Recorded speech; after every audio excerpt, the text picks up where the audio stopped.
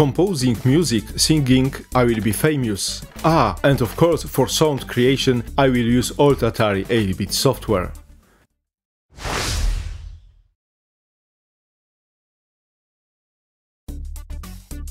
Hi, nice to see you on this channel. Today let's be more serious, at least a bit. Instead of games, it will be about editing text, composing music and creating software in assembly language. And not only. Let's also divide this presentation into two parts. In the first one, I will present Polish utility software useful for everyone, and next, in the second one, the programs for advanced users, mainly for developers. Please be sure to take a look at the video description where all the useful links are given. However, before start, do you remember this amazing game music? First Fred,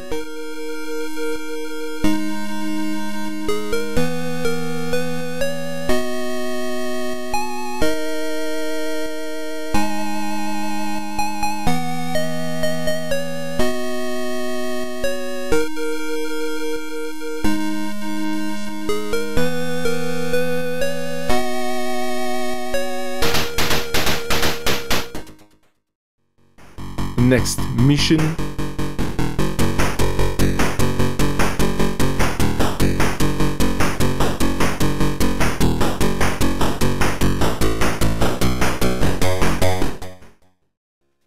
And finally Hans Kloss.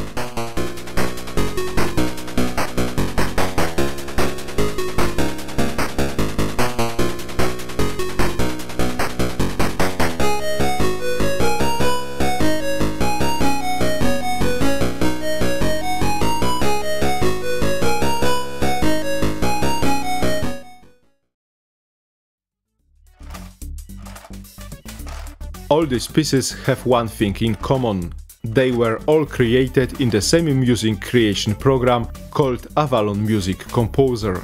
This program was developed for internal use by LK Avalon. However, someone had the idea that it could be slightly expanded and made available to all Atari lovers. This is how Chaos Music Composer was created by, of course, the same company. Please listen to how the same music sounds when played in that program. First Fred.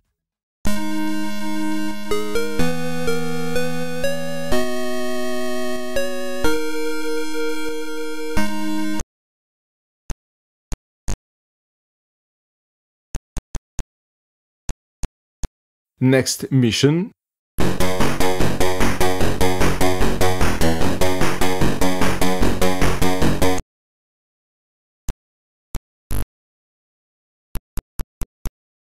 Then Hans Kloss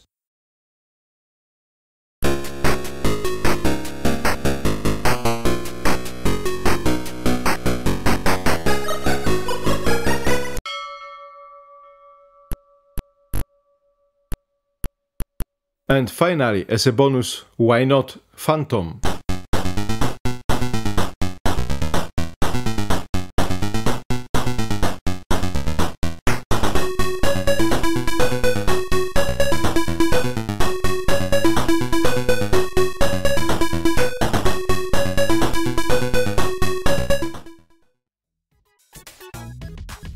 I will not go over how to use this software. Anyway, please have a look that the user manual is very long, which also gives some idea of this product's possibilities.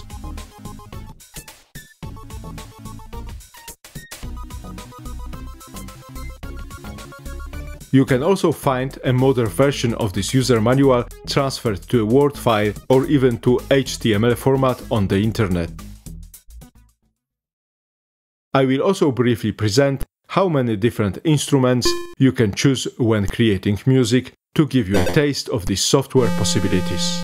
We are playing on the computer keyboard. Here I press the same G key every time, so we have the same sound, but for different musical instruments. Of course, you can also define your own instruments.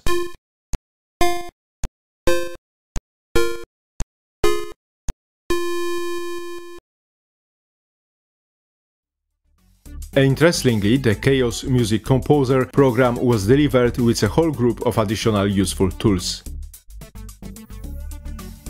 Let's list here the file management software command processor for floppy disk users, extension or more precisely the shell for DOS disk operating system and a program called COS cassette operating system being the equivalent of DOS for tape recorders owners.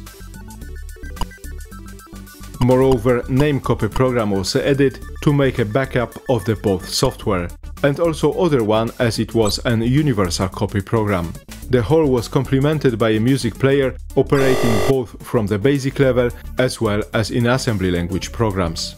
Thus, as you can see, quite extensive possibilities were provided and it was certainly a well thought out software.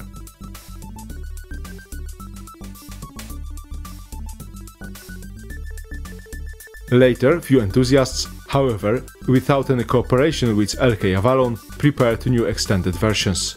Let's take a brief look at one of them, though the differences can be really noticed only after using the program longer and not just having a quick look at the main screen.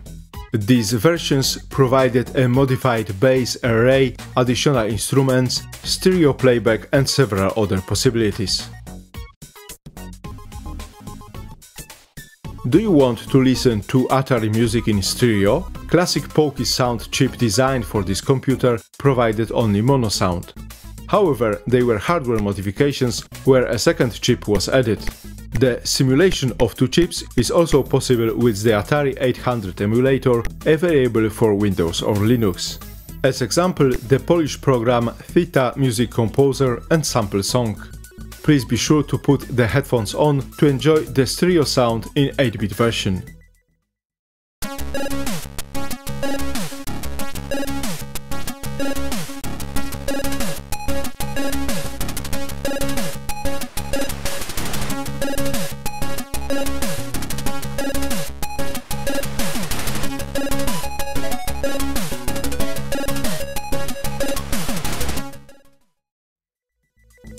Chaos Music Composer was not the only music program launched by LK Avalon. It is also worth mentioning the drum machine application inspired by Atari Digidrum software. On the internet I found also the information that initially free of charge English version of the drum machine was developed before preparing paid version.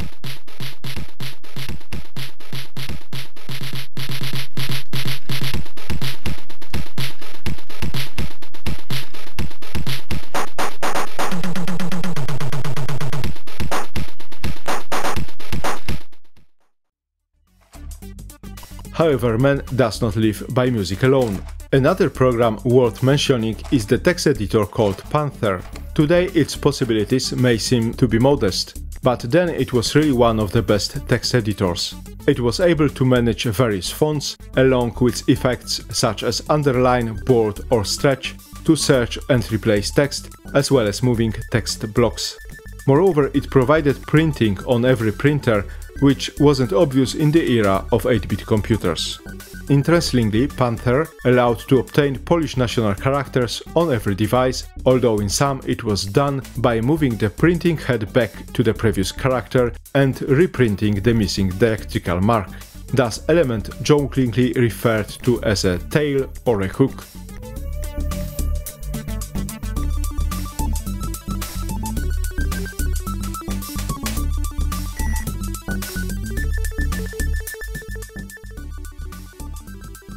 Please take a look at the software user manual, also a dozen pages to read.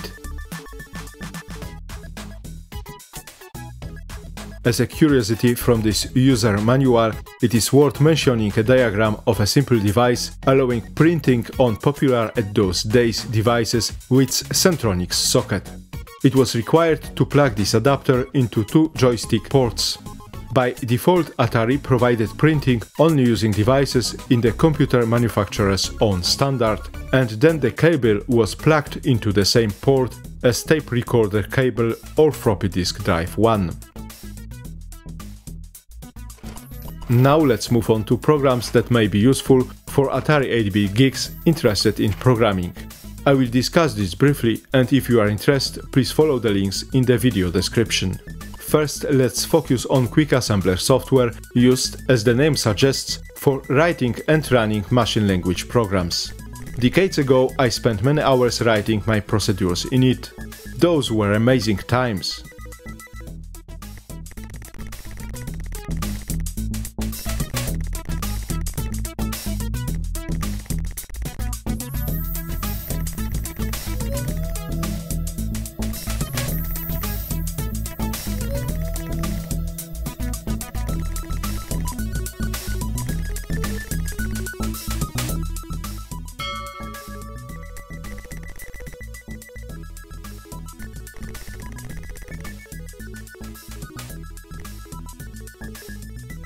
Now, please take a look briefly at the user manual for this program.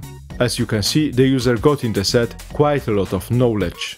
The provided booklet contained, in particular, a list of processor commands and registers. In a word, it was a mini course of machine language with useful tables that allowed you to quickly find information.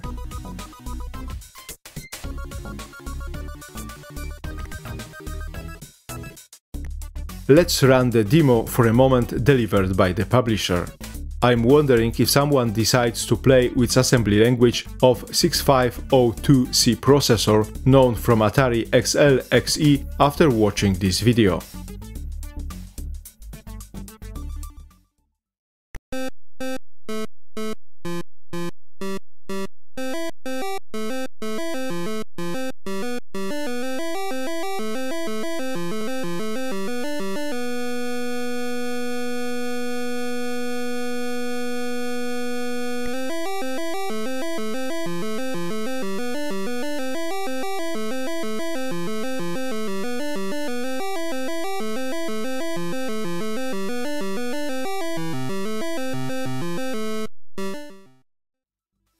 As one set with Quick Assembler, the manufacturer provided two useful tools, Bug Hunter and XL Friend.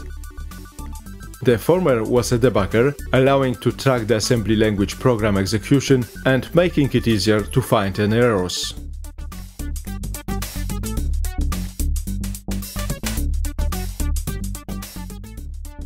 The latter ran as a resident program, which means in the background, and made it possible to run the second program in parallel with the main application.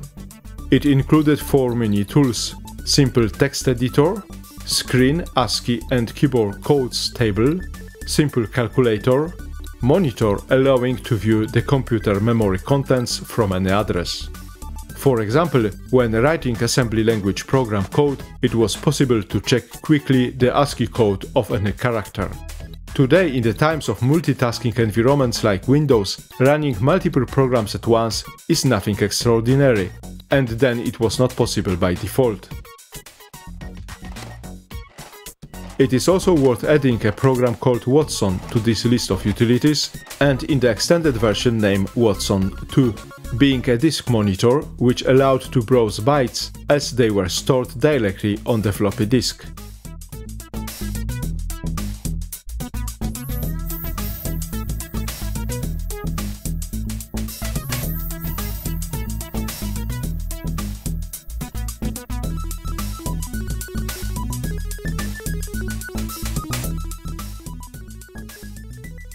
What do you think about this selection of utilities for Atari 8-bit?